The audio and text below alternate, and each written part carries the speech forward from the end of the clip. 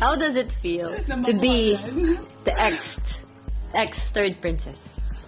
Oh my god, it's just oh my god. Oh my god, it's just like a joke, you know.